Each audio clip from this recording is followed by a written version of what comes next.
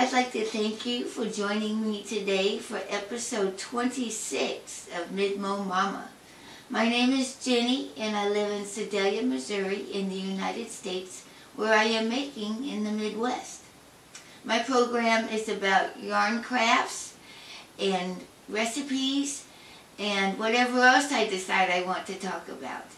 And in today's episode, I'm going to show you how to make hammy black-eyed peas and I'm going to make chocolate morsel pastry cookies. So if that sounds like things you're interested in, then stick with me and let's get this show on the road.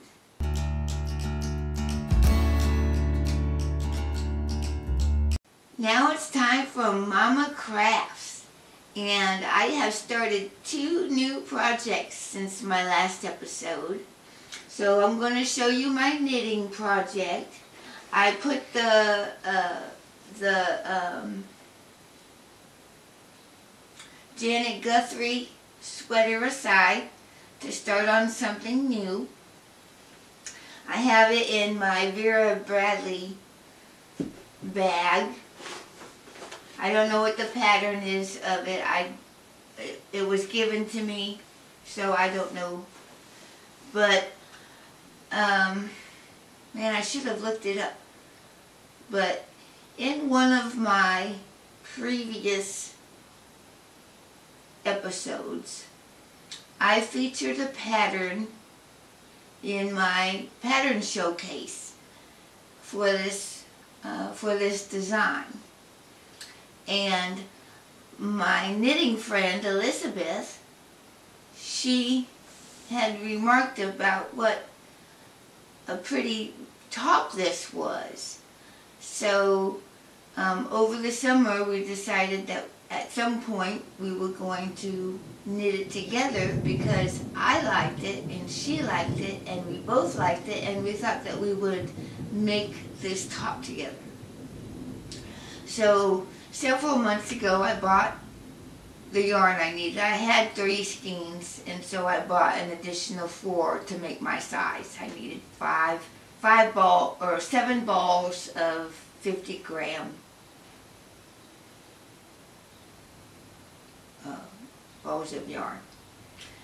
So the pattern that we are making together, we cast on a week ago this past Monday and the name of the pattern is Cascades Tee by Emily Kintigh. And the yarn I'm using is Knit Picks CotLin in Raindrop.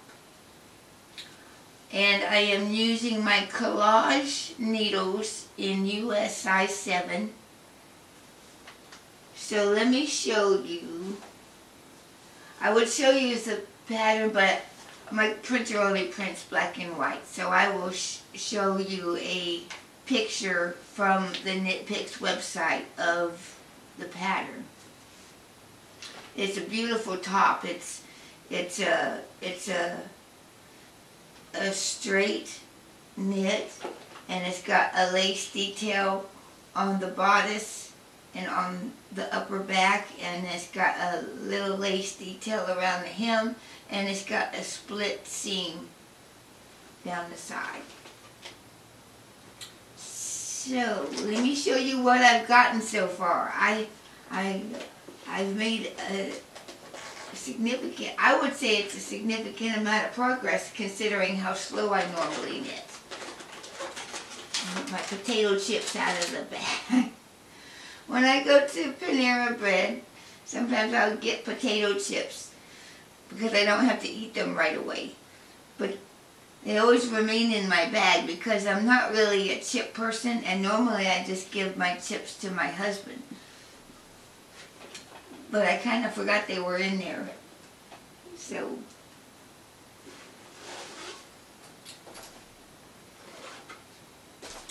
So I've got I did my swatch using using the recommended needles. This is my swatch and it came out lovely. Now I was supposed to wash and block it. I didn't. And it came out, it actually came out knitted up the perfect size. But I am knitting the top size um, that is a little bit bigger than what I am. And so if there's any shrinkage, that should be okay. Um, but this is this is the yarn I'm using. It is it is called Raindrop. It's the Knit Picks CotLin. And CotLin is um, a DK weight yarn. It is 70% Tanguis cotton, Tanguis, and 30% linen. So it's a cotton linen blend and it's DK weight and they come in 50 gram balls. So I have seven, okay? And because I have two different dye lots on my actual project, I am alternating um, so that I don't end up with side by side in the ball. You really can't see a huge difference, but just in case there's enough difference to notice, I went ahead and decided to, to alternate because, you know, I, I laid them, I laid the balls side by side uh, for my girlfriends in Panera and, and they all seemed to think that one ball was ever so slightly lighter than the other one, and that's quite possibly true. So, in order to avoid, you know, huge blocks of differential colors, I'm alternating every two rows so that it they blend a little bit better. So the color I'm using is Raindrop and this is what I've gotten so far. I think it's about two, two and a half, perhaps maybe three inches. But this is the bottom hem.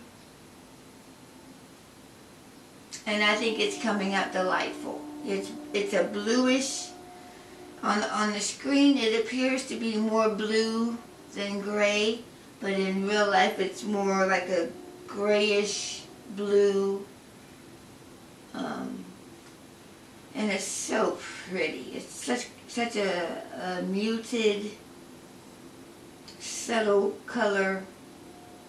It's very calming. It's a very calming shade of blue. And so I think it's going to be delightful. I could probably wear it with a white skirt. I could wear it with a print skirt that if I could find a, a floral skirt that's got this similar hue of blue. Oh, wouldn't that be delightful, huh? So that's, this is what I've got so far. Um, I could measure it real fast to find out how far I've gotten.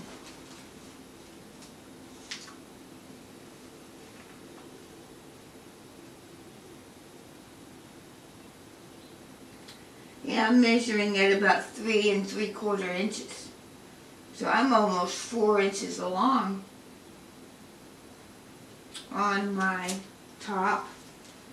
And while we're together, I'm going to hit, go ahead and place my project marker on there.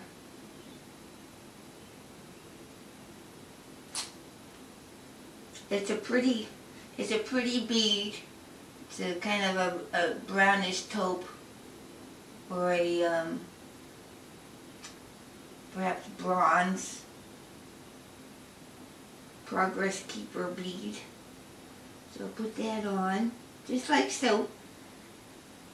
And so now for next time we'll know where I left off and how much progress I made since the last one. But I tell you what, since I, since since starting, I'm really liking the fabric I have and I think it's really beautiful. And my friend Elizabeth, she's making one in a um, in a pink, but it's not like a baby pink. It's it's it's not really a hot pink either. I think it's more like a a raspberry pink. I don't know the exact color name from Knit Picks, but it's it's very pretty, very pretty. Um, so she's got a pink one and I got a blue one. And there we have it. And I am using for the first time my um, Kollage, those square needles that I showed you a few episodes ago. As you can see, it they knit up a very even fabric. Very beautifully done. Um, they look like this. Uh, I got mine off of Amazon. They're Kollage, K-O-L-L-A-G-E, and it's it's an entire set. I got these for Christmas. My my brother-in-law got these for me. and I think that's about all I have to say about it. Just want to make sure I touched all the bases that I wanted to touch.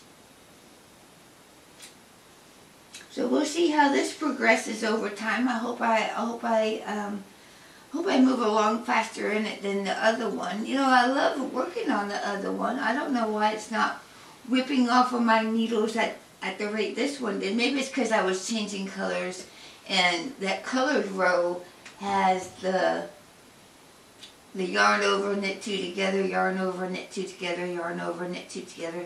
And doing one row of that takes a long time. Well here, you only have to do it the one time and then you do it all straight stockinette up until you get to the lace portion. So I'm pretty, pretty excited about that. So the lace portion will probably take a lot of the time.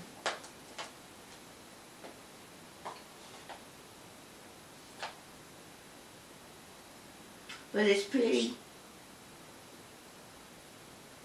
It's worked flat, let's see, from the bottom front hem to the back hem with stitches placed on scrap yarn to be picked up for the neckline. And then the sides are then seamed and stitches are picked up to work the eyelet borders on the sleeves and the pearl neckline in the round.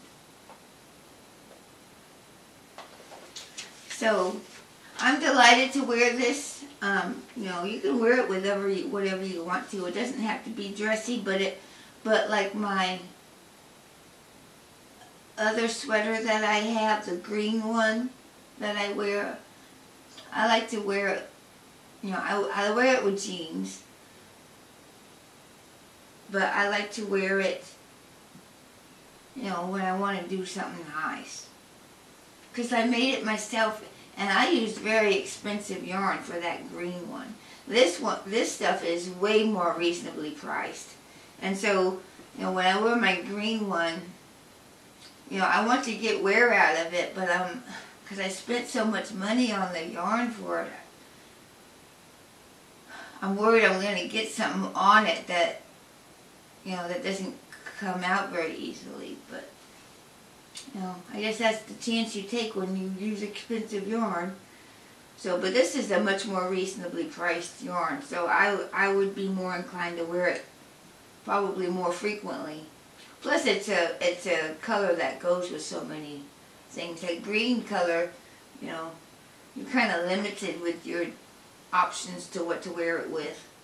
Although, you know, everything goes with jeans. Jeans are just Jeans are for everybody, for every, for every reason and for every season.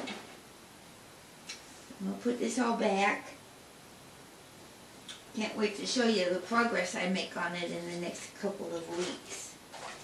Because I think it's going to be fantastic. Fantastic!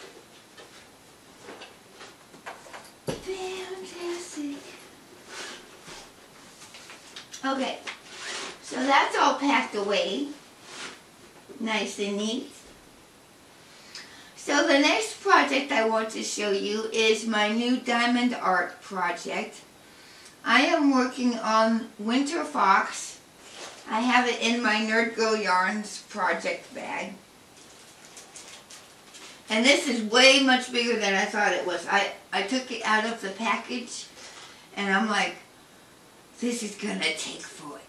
Ever and it probably will. But here it is. This is called Winter Fox. Look how big that is. Isn't that wonderful? It is absolutely wonderful. And you might be able to tell. Down here is where I have the diamond, the diamond beads going down here. And there are 23 different colored beads, various different colors, but it's primarily greens and oranges and browns and li little bits of white.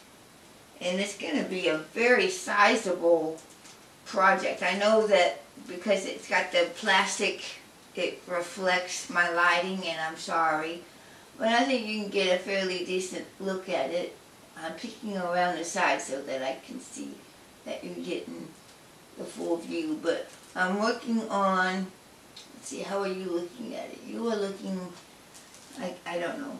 But this is the side that I'm working on. And so, um, and I just pull it back and, you know, I look at, I look at whatever colors down in the super very bottom corner and I get that I get that number um, bead and then I, I put them in my tray and then I just use up the tray. So I try to go out, go out from that corner. Once I'm done with, with that little tray of beads, then I go to the next color and I put a little bit of that on my tray and then I spread out, you know. So once my tray runs out of that color, I move on to the next closest color. So that eventually, so that I'm working from the corner outward. And I think, I think what I want to do, since this is the narrower end, I kind of want to work from this way, this direction. So, and I started working both directions. I was going this way and this way. But I don't know. The thing is that you don't want to peel all the, sticky off of your canvas because you don't want your sticky to dry out. So, so I, you know, going gradually on that. But I really, really like what I have so far. I'm very pleased with my progress. And And my husband, he's continuing to do this with me. I think it's delightful. We've um, we were we were we started doing it on Tuesday, but then we decided that we would rather do it on Sunday afternoon or Sunday evening. So we're doing it Sunday evening, and then I'm still getting together with my girlfriend Tiffany, and we're we're doing our project. She's doing a a I think it's faith, love, hope or faith, faith, hope, and love um, sign. And it's pretty. It's in pinks and purples and some teals. And my husband, he's doing a wolf.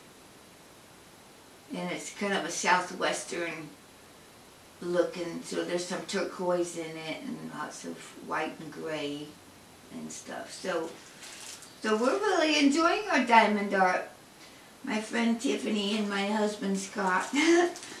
so, and I asked him, I, on the first day, I said, so, I said, so do you find it relaxing or do you find it completely boring? And he said, you know, I haven't decided yet.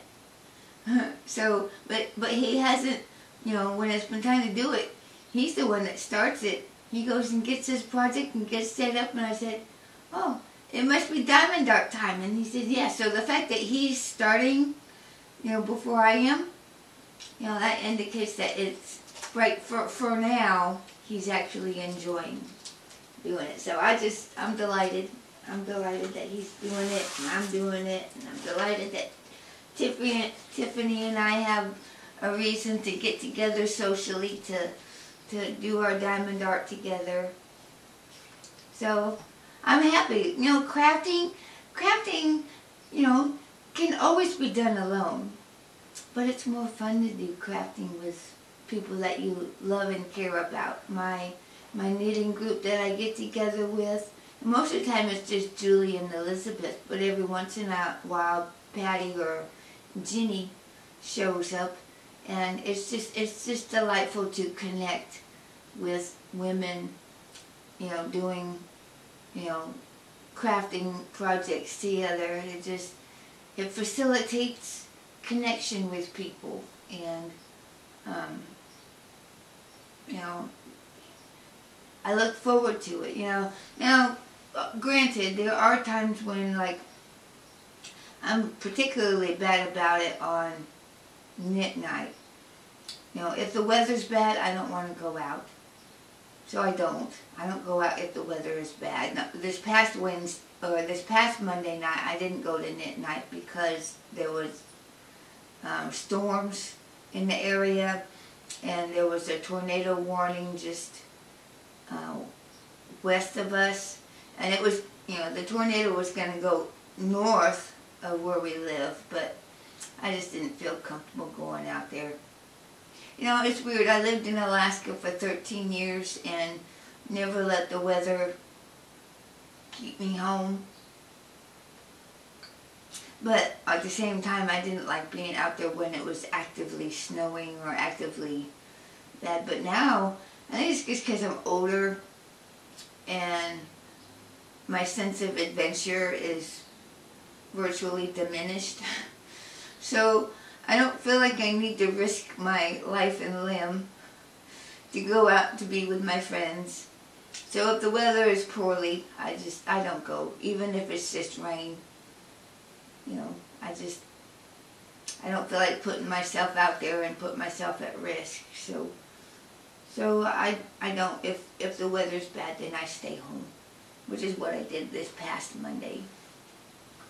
And, you know, Tiffany and I are like that too for Diamond Art. You know, if the weather, if the weather's been bad, we haven't gotten together. And that's fine, because, you know, we don't, we don't want to risk our safety for our crafty projects.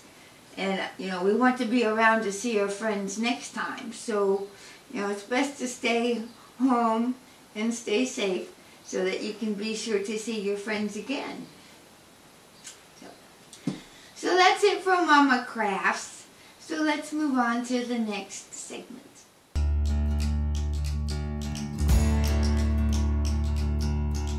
And now it's time for Mama's Pattern Showcase. And this is the part of the show where I feature um, the top patterns that you find on Ravelry that are also available elsewhere on the internet. Um, and I always feature some crochet and knit. Last, last time I shared three crochet patterns and two knit patterns. So this time I will do two crochet patterns and three knit patterns. And I always do crochet first because alphabetically crochet comes before knitting. The first pattern I would like to showcase is called Spring Lark Asymmetrical Scarf by Tanya Bush. This pattern is number one on the Crochet Top 20. Oh, and just so you know, I realized that Ravelry's Top 20 refreshes like every two hours. So if I say it's number one today, by the time you watch it, it may, it may be further down the line. So I always provide a link, one to the Ravelry page that it's on, and also to the website that it can also be found on, okay? So if, if you look at number one, you're like, that ain't number one. Well, because because Ravelry refreshes really, you know, quite frequently. So forgive me if my numbers aren't where they ought to be. But you can purchase this pattern for $2.99 on Ravelry, or you can get it free at Nana's Crafty Home website.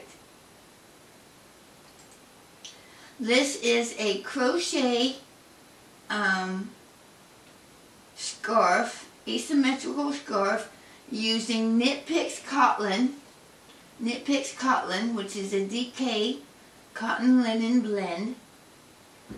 Um, it uses a um, a 3.75 millimeter hook, which is an F, and you're used um, around 900 yards. Uh, the measured size is about 50 inches by 30 inches by 56 inches, and it's written in U.S. crochet terminology. Um, the Spring Lark Asymmetrical Scarf is a free crochet pattern on my blog. This lovely asymmetrical scarf is worked from side to side creating an asymmetrical shape. Made with a cotton linen blend yarn for a light and breathable scarf, perfect for spring. Simple crochet stitches worked in combination. Single, double, picots, and popcorns create texture and visual interest throughout. A simple pattern repeat makes this pattern easy to memorize for an evening of mindless crochet time. Complete photo and video tutorials are provided to help you work through the stitches. So check out that pattern, Spring Lark Asymmetrical Scarf by Tanya Bush. The next pattern I would like to showcase today is called Aryan Hod Afghan Square by Christine Mullen. And this pattern is number four on the Crochet Top 20. You can purchase it for $2 on Ravelry or you can get it for free at Ambassador Crochet website. This Afghan square uses worsted. Um, it, it recommends Knit Picks Brava Sport. Um, no, worsted. Knit Picks Brava worsted um, and uses a hook 5.5 millimeter, which is an I hook, and you'll need around 110 yards for a 9 inch square.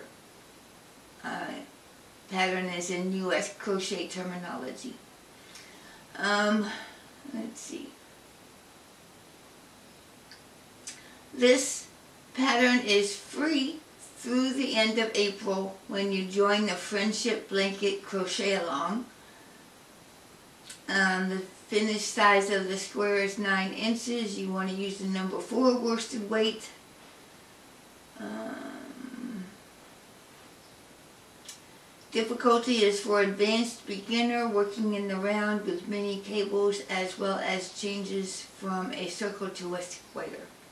And it looks a little bit like a web like a like a like a spider web design. It's got spokes in it.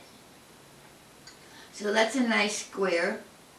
That is the Aryan Rod uh, Afghan Square by Christine Mullen. So that's it for the two crochet patterns. So on we go to the knit patterns. Uh, the first knit pattern I would like to showcase today is called Weekend in the Country by Carol J. Sulcoski. This pattern is number two on the Knitting Top 20. You can purchase the individual pattern for $5 or you can get an ebook of 10 patterns for $9.99. Or you can visit the Universal Yarns website for more information. Uh, this pattern is a pullover sweaty. Sw pullover sweaty. it's a, it's been storming today, so that's my my weather app letting me know of a flood warning if you li living near near rivers and streams, your your floods may be happening. So my my that noise whenever something's going on. It it started storming way, way early this morning at 4.45 this morning. There was a huge crack of thunder that just woke me up out of my deep, deep beauty sleep. And then it just rained and stormed ever since. And we had some pretty sizable hail a couple hours ago. And so it's it's been rainy and stormy all morning. But on on with the show on with the show. So this is a pullover sweater uh, knit with bulky weight yarn. Um, they suggest universal yarn bamboo bloom and bamboo bloom hand paints. Um, it uses a US size 9 and a US size 8 needle. So that's a 5.5 millimeter and a 5 millimeter uh, needle size. Um, it's available in six sizes, small, medium, large, 1X, 2X, and 3X.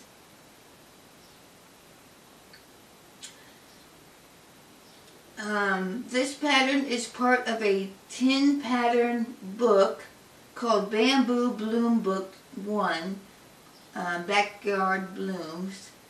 So if you want to buy the whole book, you can get that for $9.99. But otherwise, if you just want that pattern, it's only $5. Um, and they don't give you very many notes about it. It just gives you finished measurements, materials required, needle sizes, and notions. But it's a very nice pullover sweater. It just it looks like a basic wardrobe staple. You can knit it and install it or um, variegated yarns and it looks pretty. I like the sample that they have. It's kind of blues and yellows and cream. It's pretty. It's a pretty pullover sweater. So that is Weekend in the Country by Carol J. Sulcoski. The second knit pattern that I would like to showcase today is called Mighty Adventure 2021 by J.L. Fleckenstein. Um, it is an advent, so advent dash your, so it's like adventure. So Mighty Adventure 2021. This pattern is number 5 on the Knitting Top 20. You can purchase the pattern only for $10. Or you can get an entire kit that includes the yarn for $300. And you can buy the pattern at Lucky Violet Color Company website. So um, they don't. You can't purchase this on Ravelry. You have to go to Lucky Violet Color Company website, and you can buy the pattern by itself for ten dollars, or the kit that includes the yarn for $300.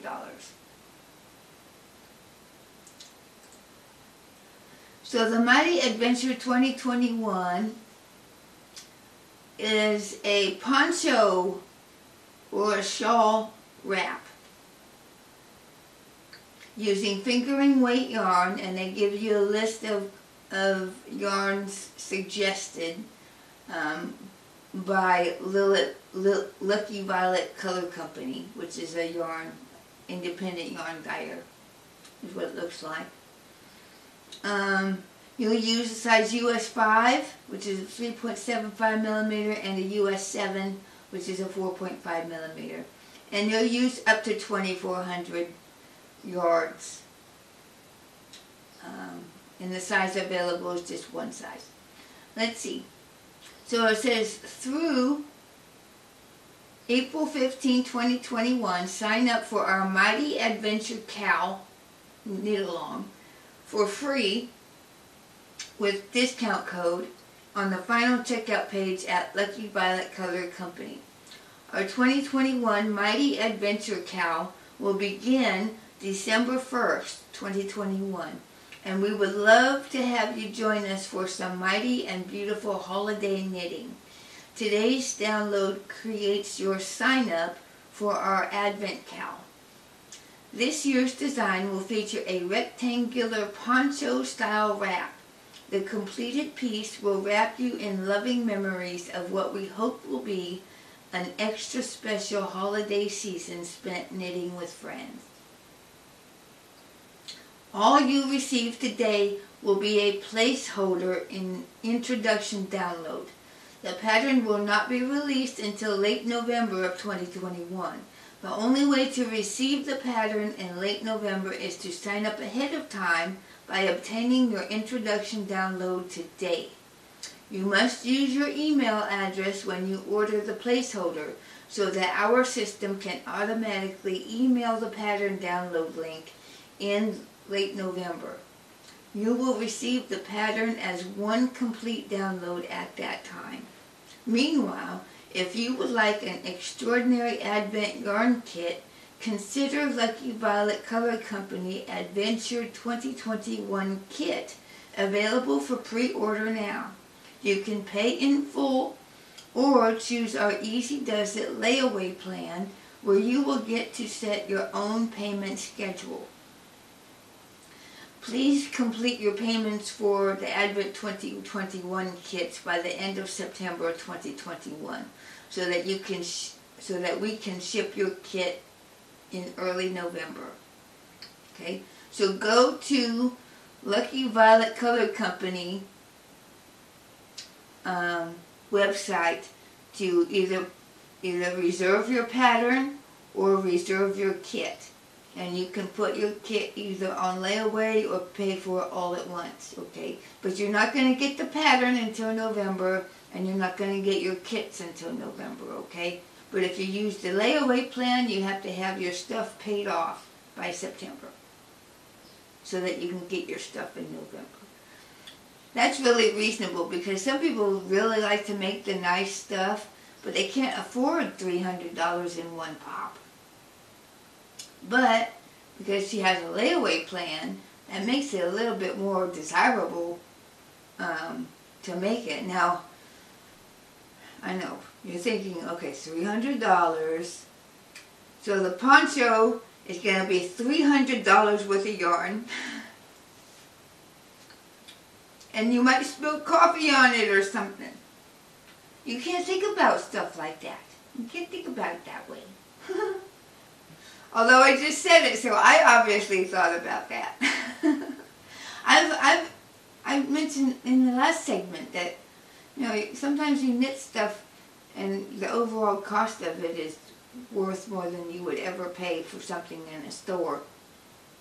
And yeah, you got the time of, you know, you nurture the project, you're making it by hand, you're, you know, you, you know, you're executing every stitch, etc. And so there's more love that goes into it. So it makes it more valuable. But you know, it's hard for people to come up with $300.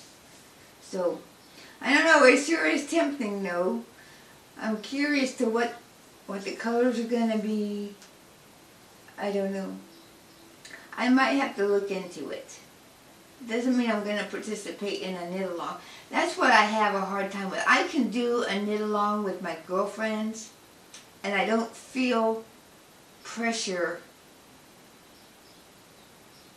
Okay, because we tried socks, and none of us finished our socks. I will eventually finish my socks, but none of us were feeling it. But there's no, there's no shaming, you know, there's no, there's no, you know, we don't do that to each other, you know, we, we do what we feel like we need to do, and if there's other stuff we do, well, we do that. But if I participate in a knit along, all of a sudden, my my joy for the project evaporates. Because then I feel pressure to keep up with the people. And I don't, I don't knit fast, for one thing. You guys, you guys know that the pace that I knit my stuff at is just ridiculously slow. And I don't like putting pressure on myself. My, my craft is my, is my solitude. You know, that's my therapy.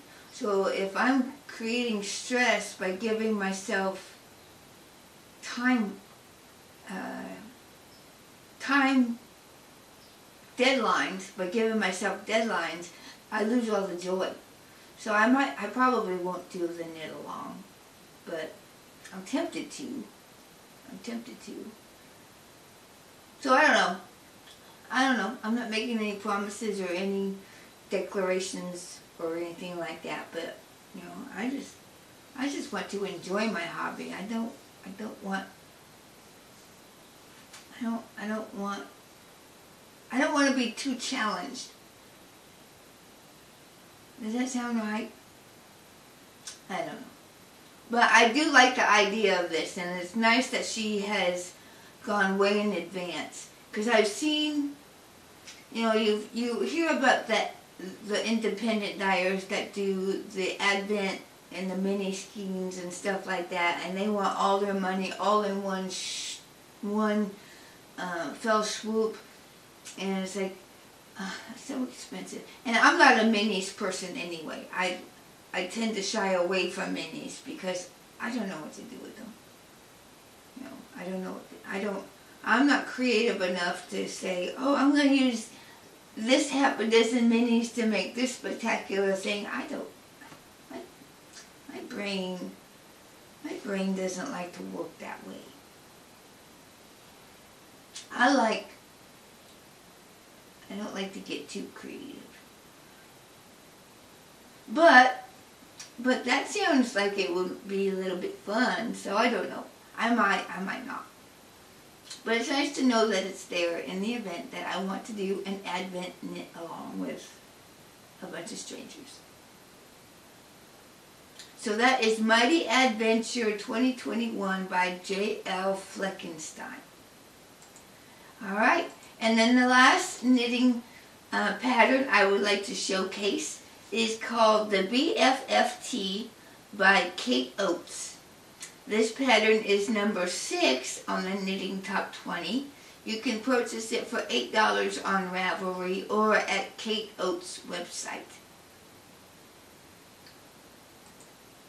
And this is a pullover top um, knitted with light fingering weight yarn uh, using a US 4, which is a 3.5 millimeter, and a US 2 needle, which is a 2.75 millimeter. And the pattern is available in so many sizes. Holy smokes.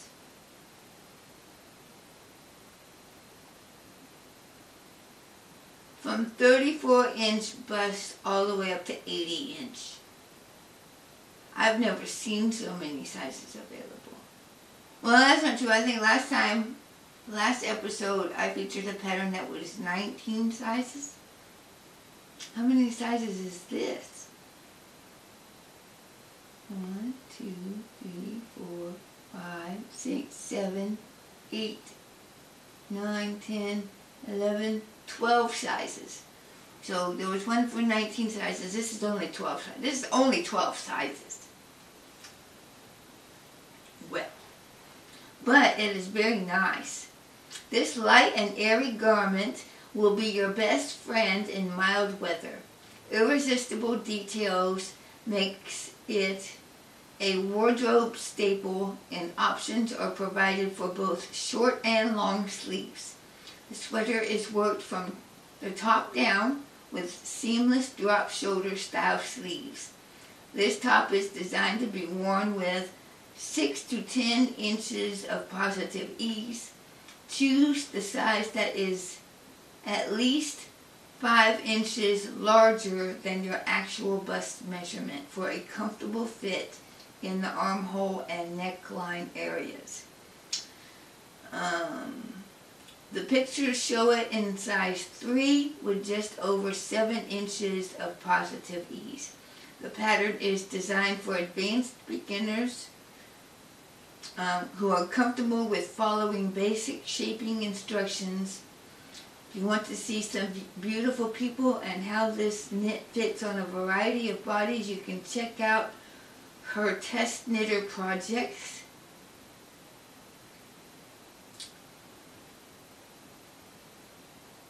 It's wonderful. It's a beautiful top. It's every bit as beautiful. She shows the short sleeve version and the long sleeve version. And it's lovely in both both ways. I think it's I think it's it's a good alternative to the one that Elizabeth and I are making right now. So boy that's that's just adorable and I like there's a little there's a little bit of a detail on the hem of the short sleeve that's pretty. But this pattern is BFFT by Kate Oates. So in order to recap, your two crochet patterns is Spring Lark Asymmetrical Scarf by Tanya Bush and the Arian Hod Afghan Square by Christine Mullen. And then the three knit patterns is Weekend in the Country by Carol J. Sulcoski, Mighty Adventure 2021 by J. L. Fleckenstein, and BFFT by Kate Oates. And this concludes Mama's Pattern Showcase. So let's move on to the next segment.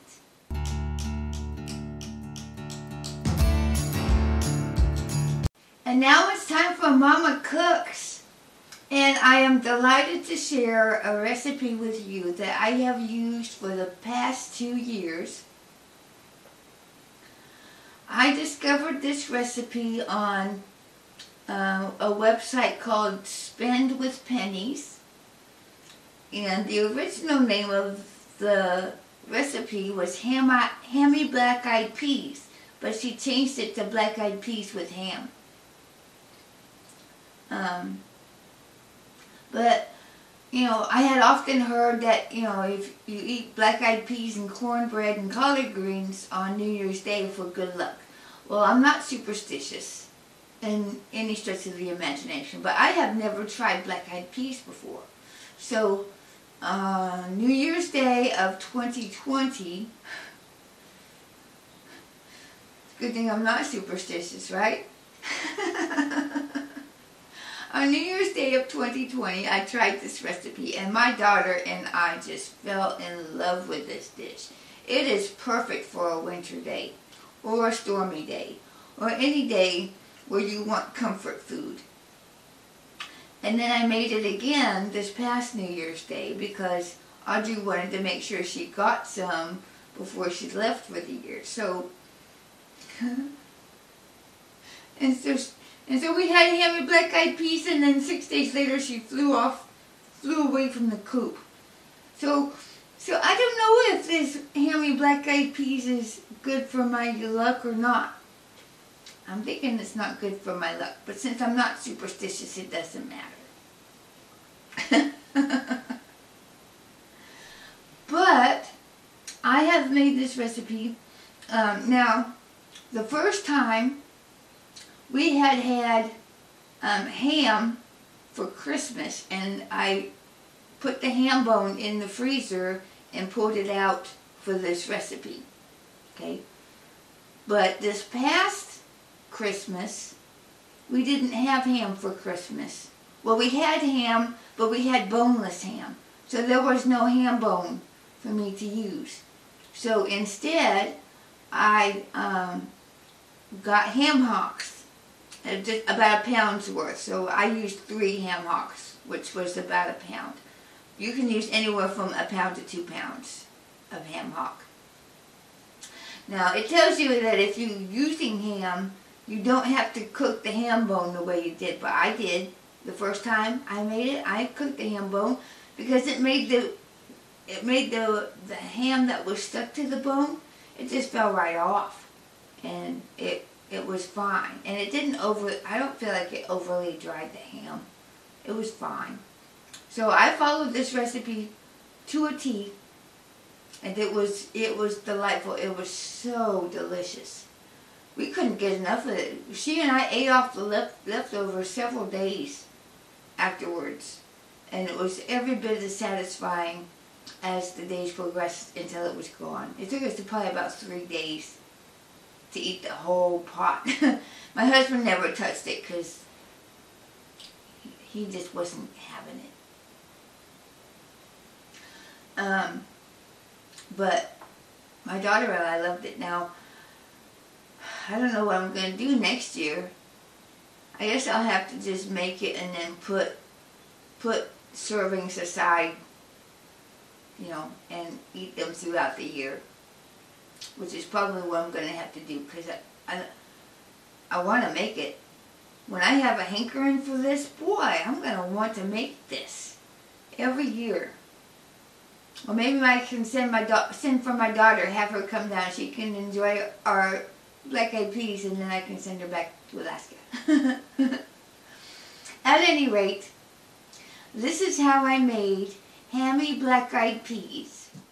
For hammy black eyed peas, you will need one pound black eyed peas dry, one meaty ham bone or one to two pounds of ham hocks, eight cups chicken stock or broth, one bay leaf, half teaspoon thyme, six slices bacon, two or three celery ribs diced, two cloves garlic minced, one green bell pepper diced, one onion diced, one 10 ounce can Rotel undrained, half cup long grain rice. The night before you're going to eat your food, you want to thoroughly rinse the dry peas with water and then place in a large mixing bowl and fill with water to soak overnight for at least 8 hours. In the morning, drain the peas, rinse them thoroughly, and set aside. Then you want to place your ham bone or hocks into a Dutch oven or a large heavy pot. Add the stock or broth, the bay leaf, and thyme. Bring this to a boil, then reduce heat and simmer for an hour. In a fry pan, cook the bacon as you desire. Remove from the pan blot with a paper towel, and dice and set aside. Using the bacon drippings that are still in your pan, gently cook the celery, garlic, pepper, and onions just until tender. Add this and the peas to the ham bone pot and simmer for an additional hour. Skim off any foam. Take the ham bone out of the pot onto a plate, remove all the meat, and discard the bones. Then return the meat to the pot and stir in the tomatoes and rice. Simmer an additional 20 minutes or so until rice is plump. Remove the bay leaf, add the bacon. Serve with collard greens and cornbread. And that's how you make hammy black eyed peas.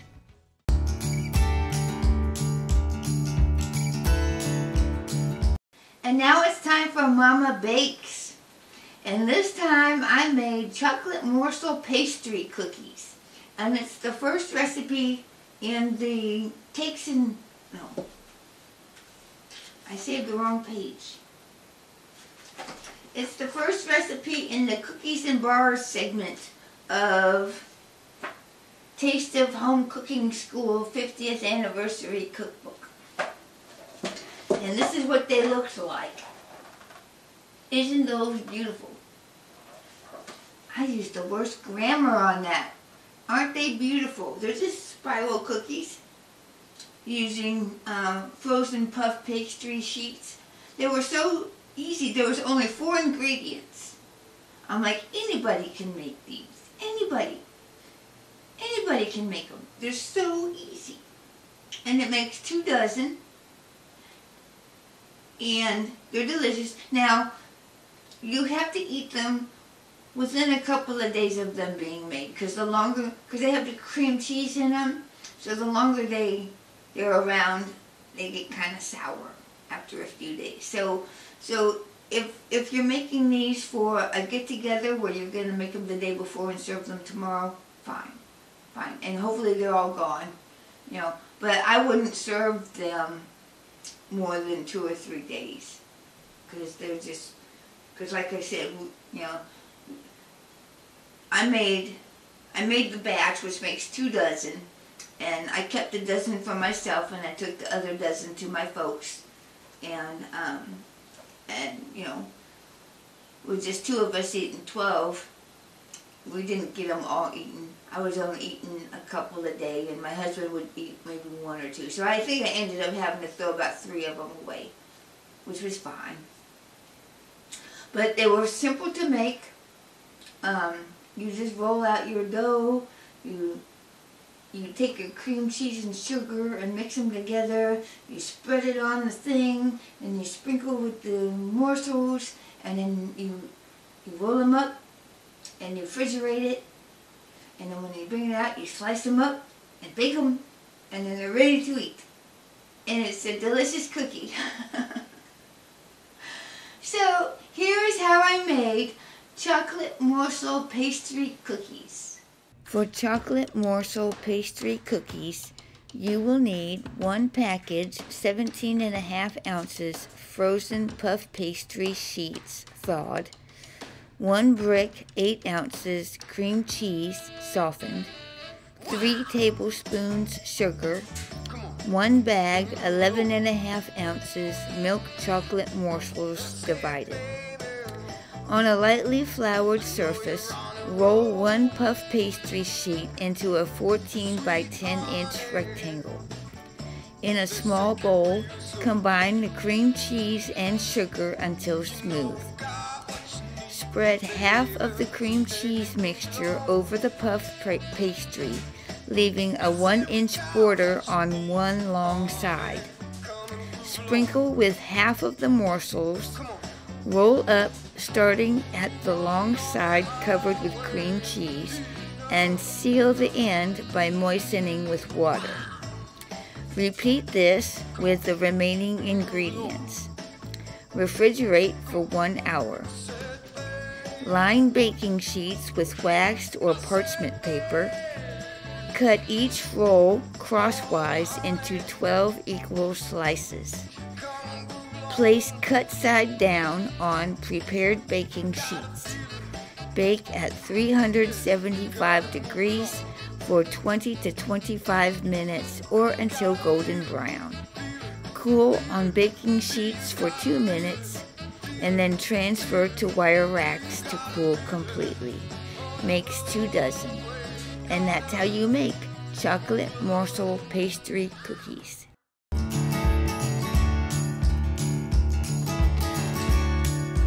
And now it's time for Mama Reads. And I finished a book. I finished Yours Truly Thomas by Rachel Fordham. And it was a fantastic story. I tell you what, I am so grateful my friend Elizabeth turned me on to Rachel Fordham. She is such a good storyteller. You know, they're not, you know, they're, um, you know, they're not complex but these the stories are entirely plausible in my mind. I just, you know, and they would make excellent Hallmark movies. But I love all the characters in them. Every character, even even the side characters have their own personalities and they are realized in the story. And I'm just I'm delighted. I am delighted with, with her writing. She, her first book was The Hope of Azure Springs, and this Yours Truly Thomas also takes place in Azure Springs, but it's a different, it's a different, you know, main characters. And yeah, she ties in some of the other characters that were in The Hope of Azure Springs, but they're, but these are independent stories, so you don't need to know what happened before to know what happens next. But it's a wonderful story, yours truly, Thomas. And I look forward. She's got another book out that I don't recall the name of, and she's getting ready to publish a new one this summer. So if you get a chance to read Rachel Fordham, I highly recommend her. She read she she writes some really delightful stories. So that's all that I'm that I finished reading. Um, but I'm going to swap out my battery and tell you the rest of the stuff I'm reading. So I'll be right back.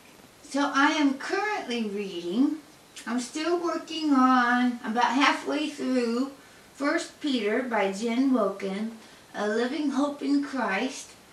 And we are in the middle of the second um, chapter uh, dealing with submission.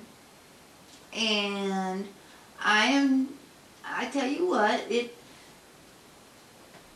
um, it's strange because I never used to have, I never used to have um, a problem with submission.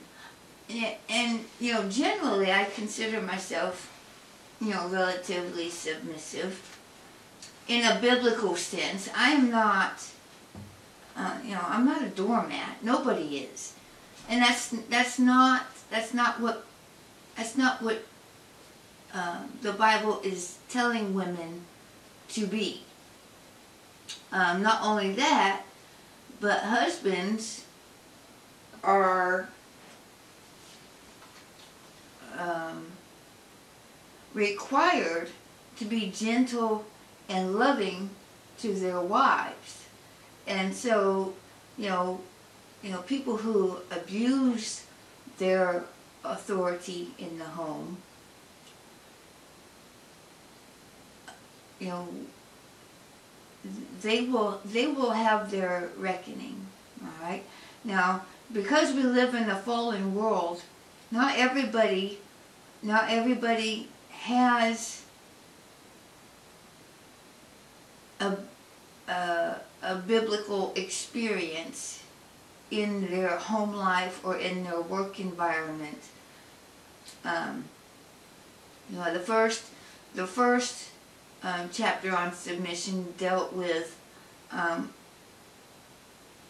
workers and employers. And, you know, you, you need to be respectful um, even if you are punished for doing good. Okay? So that's that's that's what having a servant's heart is is um, being respectful and doing good even when you are being mistreated um, or treated unjustly um, in the workplace. Well, the same goes for um, as a wife. Um, we're not supposed to be overly, uh, we're not supposed to focus on our appearance as much as we are supposed to focus on the beauty of our heart and our mind. And how do you work on the beauty of your heart and on your mind? Is by spending time with the Lord every day.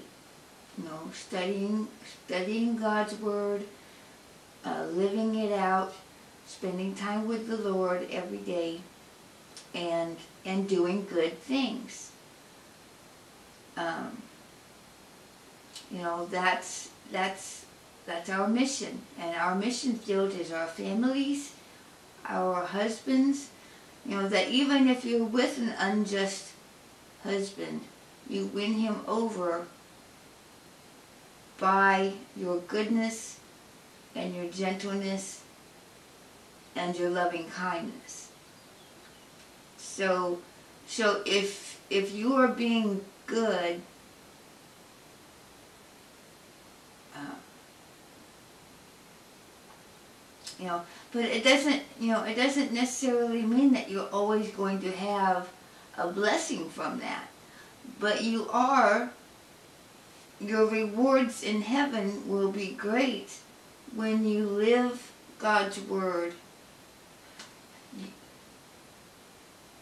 I I need to do I I am responsible for me.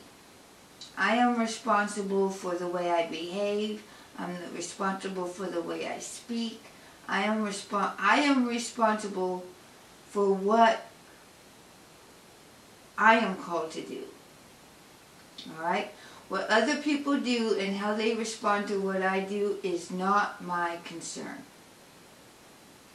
Alright? That's that's what I have to get over. Okay? If if someone doesn't appreciate what I do, that's not that, that doesn't matter. It doesn't matter. If someone doesn't, you know, if I don't feel like I get credit for what I feel like I deserve credit for, change my mind. Change my mind. That because that doesn't matter. It does not matter to me what somebody else thinks of what I do. Okay? I I do what I do and I follow the word best I can, you know, and I have a desire to do that. I have the desire to find God's will for my life.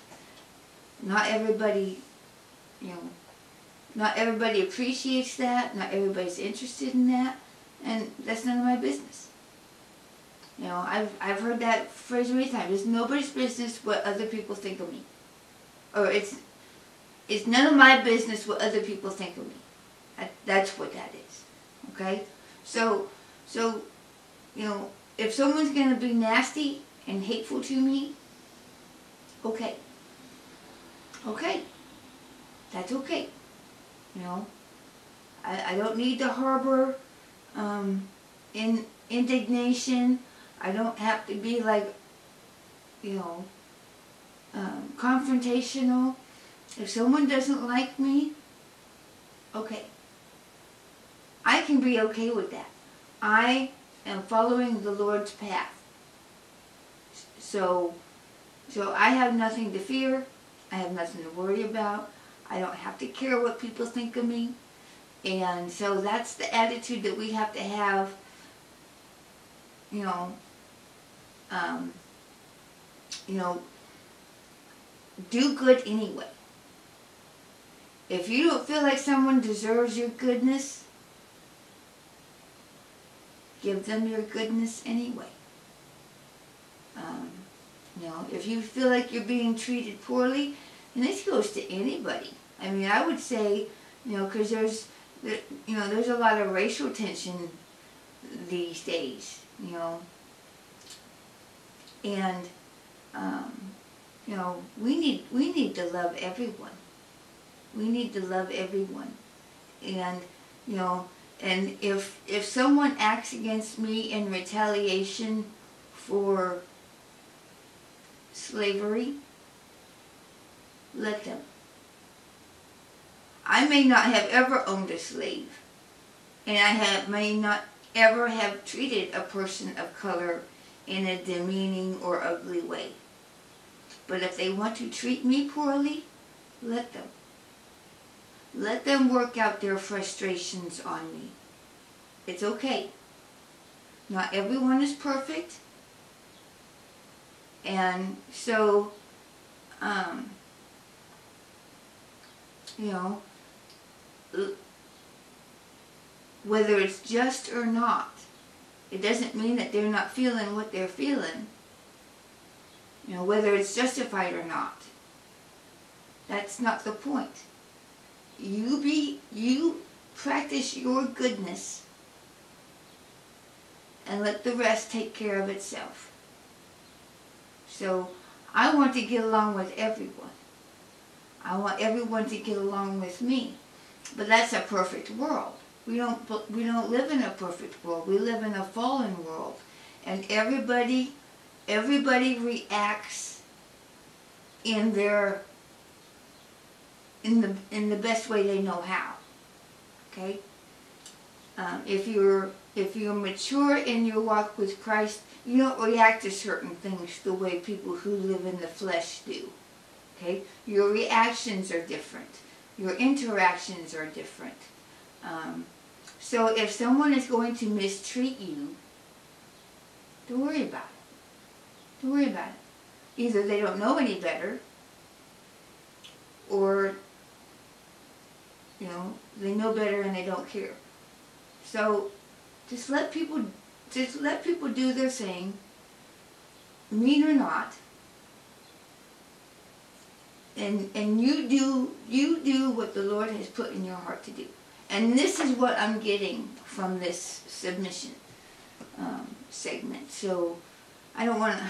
I know I spend an awful lot of time talking about stuff like this, but it's important. It is important for us to, you know, you know, to to understand that the Lord knows the world that we live in. He he knows more than anybody. He knows that this is a fallen world. I mean, Jesus Christ Christ died for us, and he was beaten and he was treated, treated unjustly, he suffered. He suffered way more than I ever have. And I feel like I've had my fair share of suffering. But I am suffering, and my suffering is, is incremental compared to the suffering of Christ. So I can suffer a little bit. I can endure it. I can I can handle suffering because Jesus handled suffering. Get that? So so don't let don't let you know what people of this world how they're reacting to social um, justice, all of that stuff. Let them let them do their thing. I'm responsible for me.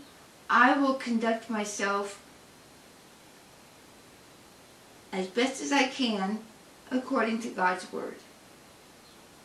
And if that's not good enough for other people, that's not my problem. that's not my worry. All right? I'm doing what the Lord has set before me to do. I'm going to focus on that. Okay? World be damned. oh, I don't damn the world. I'm, I'm not, you know, I'm not putting myself in that position. I'm not the Lord. but the Lord, the, the Lord's going to judge. He knows, He knows what is and what isn't justified. Okay?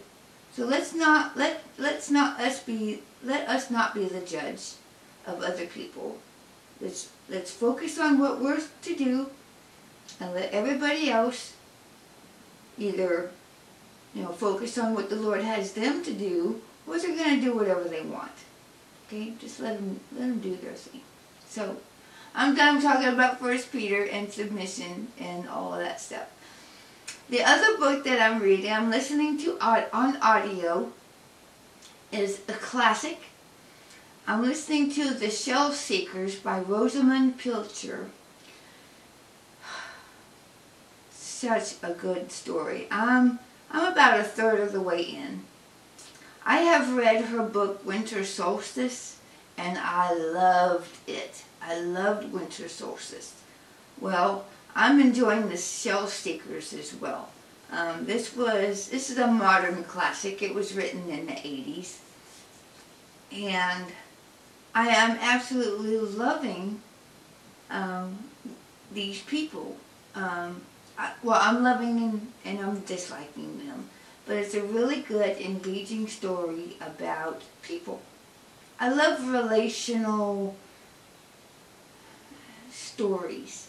And and this hits me in, you know, everything that I like about a book, relationship-wise. And so I find it very engaging. And um, you know, if, if you're looking for a modern classic, something that's good, um, you know, and it's, it's, you know, it, it's definitely not Christian fiction. It's, you know, it's everyday, everyday people doing everyday things in everyday ways.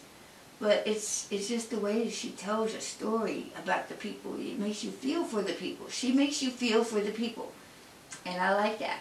I like that very much. So you know, I'm look, I'm I'm kind of interested in reading more books from her library, just because, you know, she's such a good writer.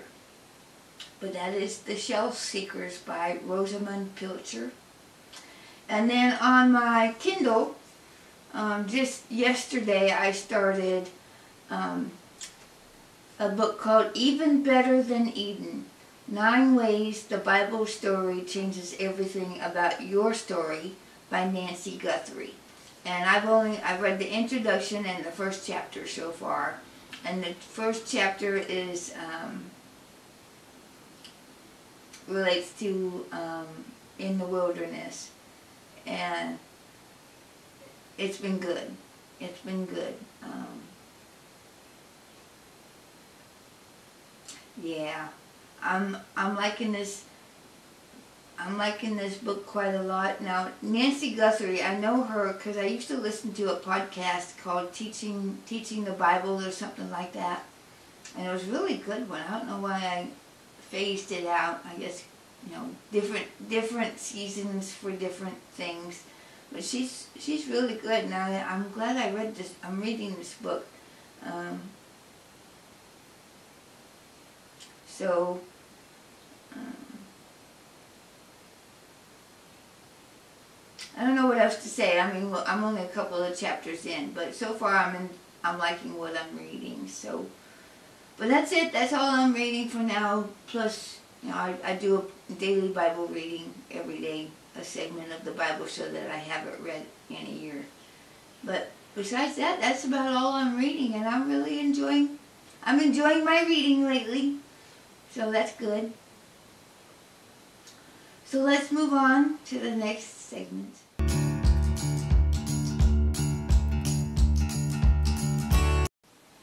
Now it's time for miscellaneous mama.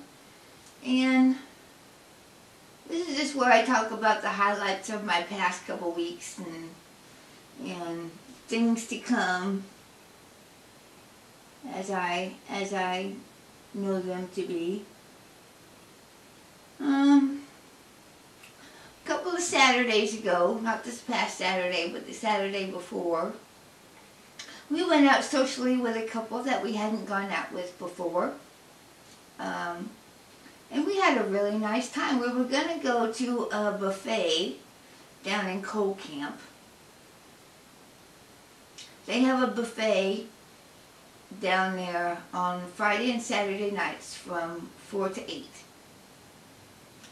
Well, we go down there at about 5 o'clock and the line to get in the place was wrapped around the entire back of the building. You had the front door and down the side and around the back and that's where the line to get in ended. And we decided we weren't willing to wait. so the trick to that place is to get there probably around 3 and be one of the first batch in. but we've heard that they have tremendous food, and so we do plan to go there, but we you, you have to play the game. You have to figure it out. But since we were in Cole Camp, we decided to see what else they had down there. Cole Camp is a little town south of Sedalia. Um, and they have a, a little um, restaurant down on the main drag called uh, The German Table. And it's authentic German food, which we had never been to before, and they had never been there before either. So they, they had room for us. Normally they take reservations, but we weren't aware of that. And, you know, if, if they're a reservation-only place, sometimes they're gracious enough to, to give you a table. And so they gave us a table. And the special that evening was sauerbraten. They also had a variety of schnitzels and stuff like that. Well, um, sauerbraten, as it turns out, is just pot roast with um, kind of a, a, a, sour gravy.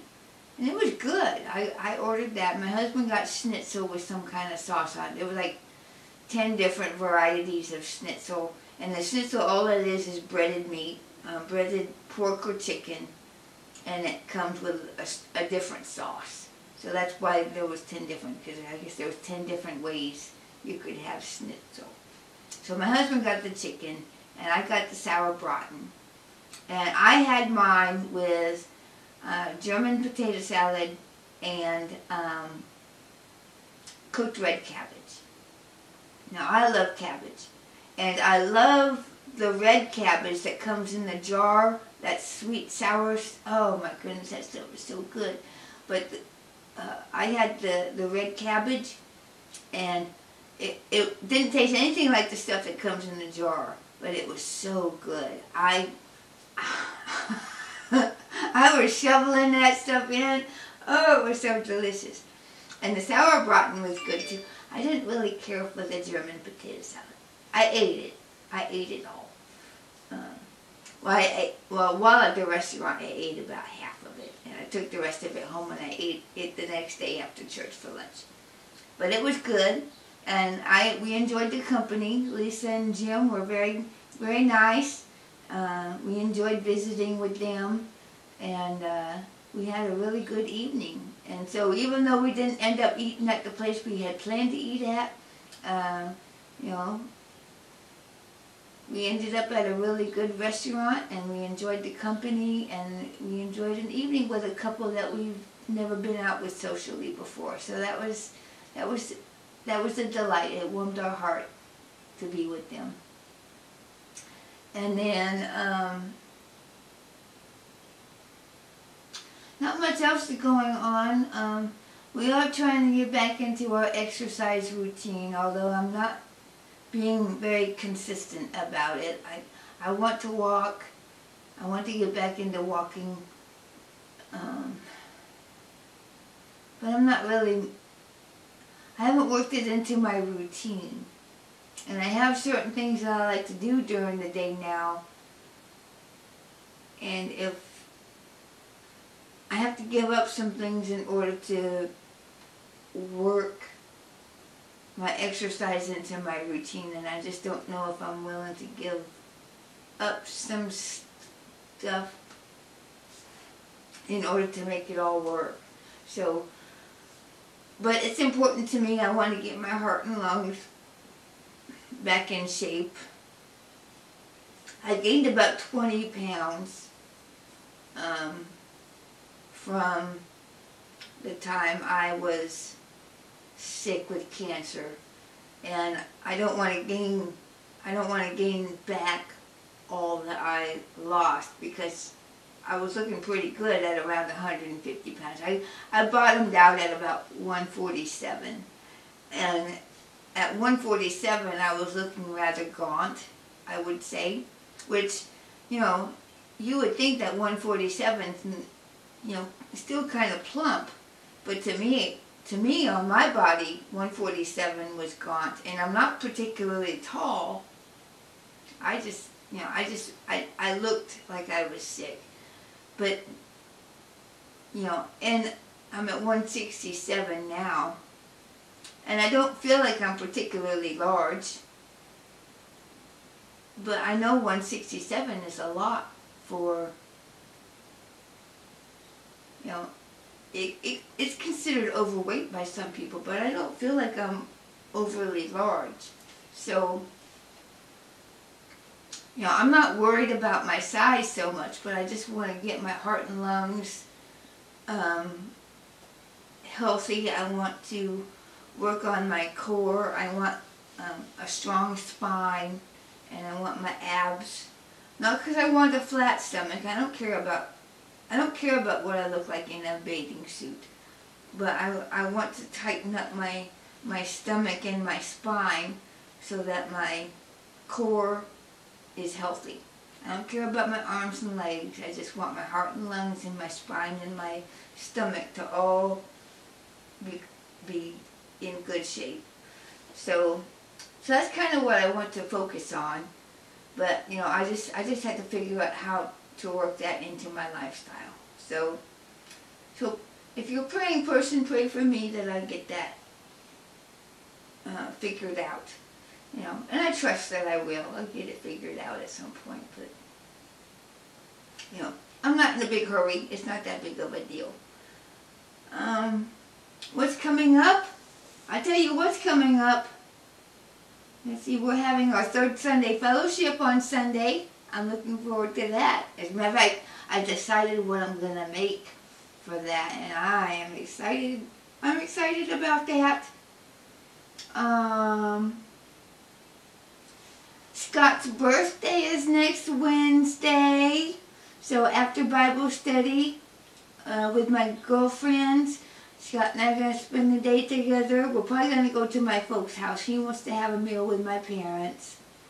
So I don't know if I'm cooking a meal or if we're going out to eat. Yeah, but he hasn't decided. And I told him, well, it's your birthday. You decide what you want to do.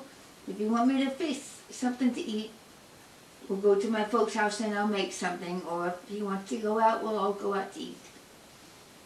And then the Saturday following his birthday, the 27th, we're having a birthday party for him. And we don't normally have birthday parties, but last year I was planning a surprise birthday party for him because he turned 50. And um, his men's ministry get together was falling on his birthday. So I was going to hijack the men's ministry get together and have a surprise birthday party for him. Well, COVID. COVID ruined my surprise party. So he never got a birthday party for his. So even though he's only turning 51, I'm giving him his 50th birthday party on the 27th.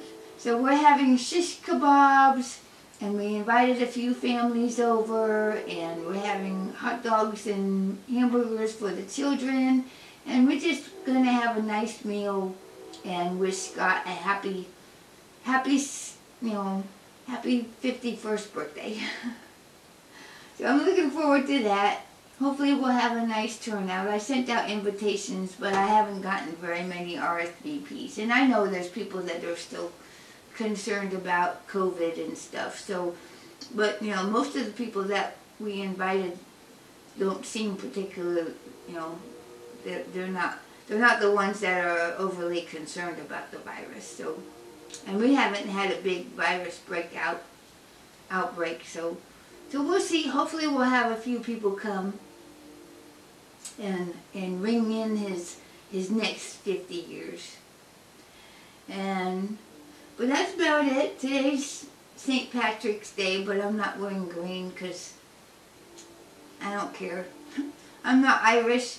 I wore, I think I, I know I wore green the last episode, uh, last year, but I'm not an Irish person, so I don't care about Irish. Even though my last name is McHenry, so I don't know if I'm, and like I said, I guess he said that last year, Scott, Scott's not certain if he's Irish or if he's Scottish, so, but his last name is McHenry, so whatever that is. And I come from Scandinavian descent, so um, my mom's Finnish. And my dad's just a mutt, so I am half Finn and half mutt. so that's it. So let's move on to the final segment.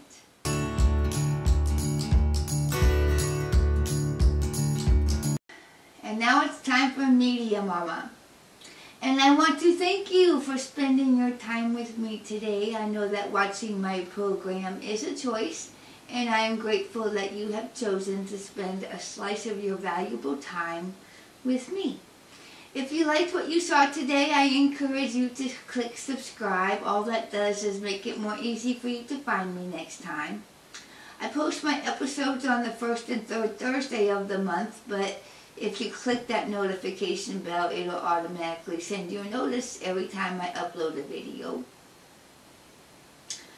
Um, if you have any questions about my program, you can ask me questions down in the comments, or you can send me an email at midmomama2 at gmail.com. You can find me on Ravelry as Midmo Mama, and I am also on Goodreads. I have a link to my Goodreads account um, on my YouTube page and on my website. If you want to know anything about this program, um, links to all my stuff are in my show notes. I have a website where I post my show notes because sometimes there's not enough room on the description box to provide a link for every single thing. So I have my show notes, so if you click on my website, it'll take you straight to my show notes for every episode. And I think that's it.